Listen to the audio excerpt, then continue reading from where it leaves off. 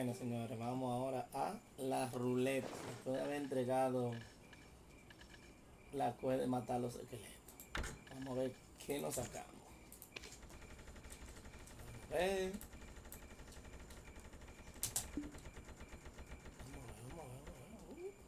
Una, bolleta, una botella vacía. Eso es